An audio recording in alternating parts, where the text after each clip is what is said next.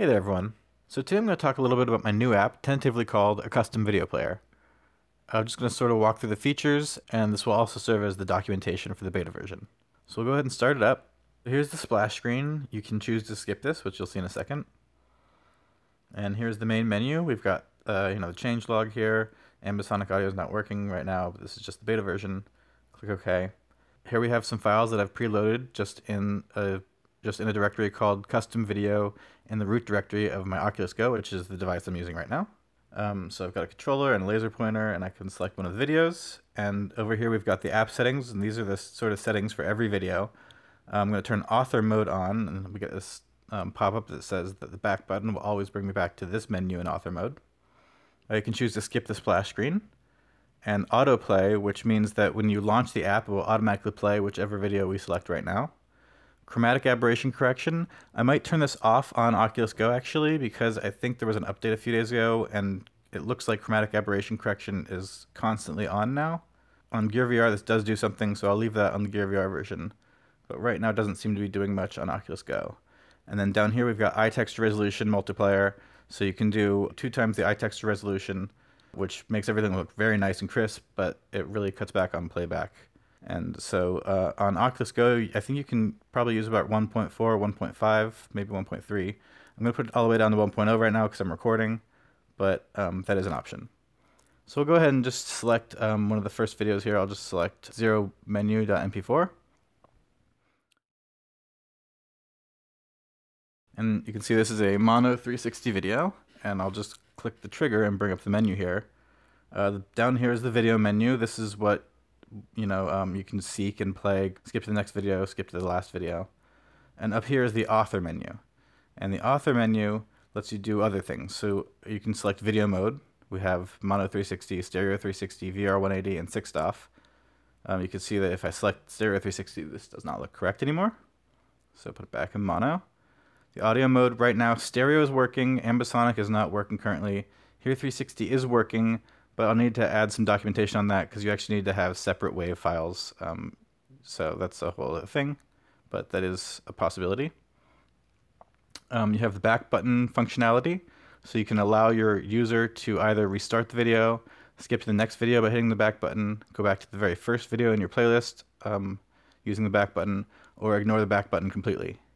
So uh, you can use this as a sort of kiosk mode, or however you want to be able to use it you can select your next video. So right now, if we went to the next video, it would repeat this video. But if you put this at the end of a playlist and had it go back to the first video, you could have it sort of loop your whole playlist forever.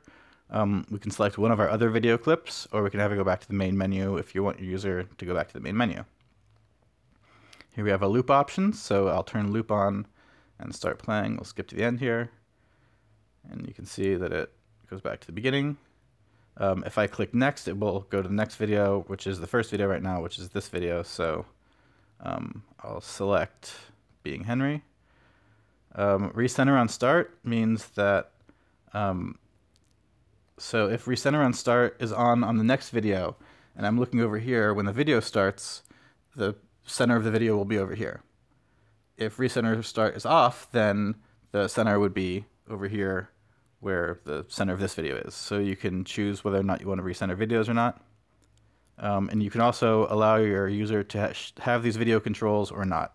So right now the user would be able to seek and go back into the next video. If I turn this off, they would be sort of locked out in kiosk mode.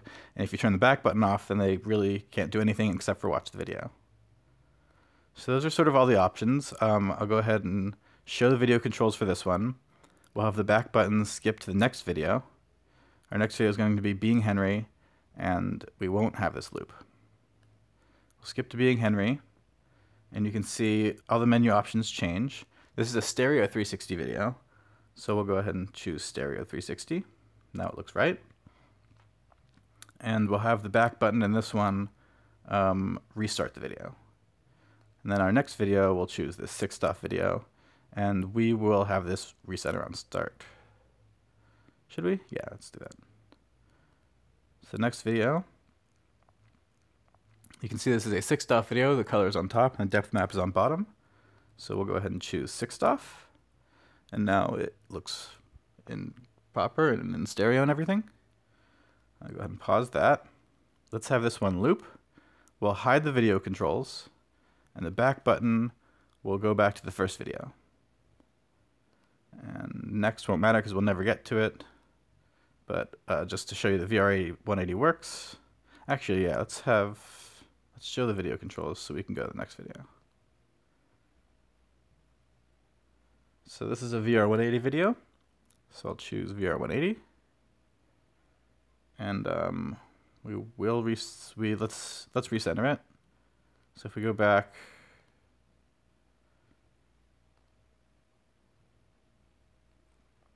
it's recenter now.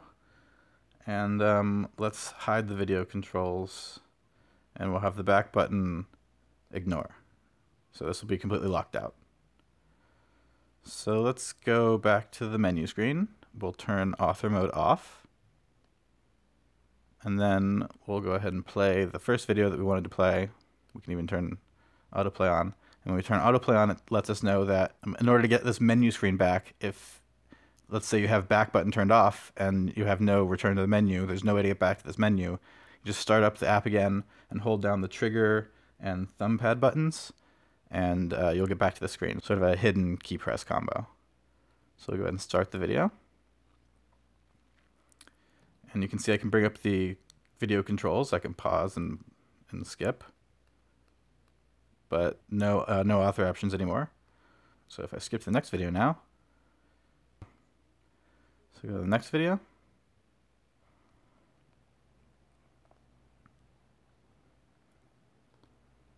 Um, let's hit the back button here. And that went back to the first video. Let's go to being Henry clip and hit the back button. I think this one skips to the next video. Oh, it starts this video again.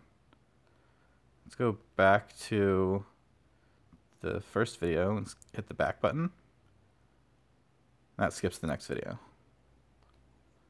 And let's skip to the six DOF video, back button, goes back to the first video. So you can make a sort of, uh, you know, complex kind of um, playlist. And let's get to the VR 180. And now the back button does nothing, and I have no controls.